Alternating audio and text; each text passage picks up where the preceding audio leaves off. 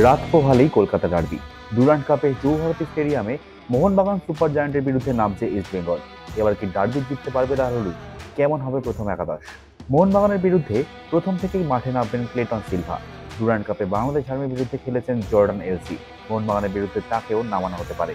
ডার্বিতে লাল হলুদ জার্সিতে নামতে পারেন অ্যান্টেনিও পার্দো লুকাস শুরু থেকেই নামবেন ক্রেসপো ও সিভেরিও।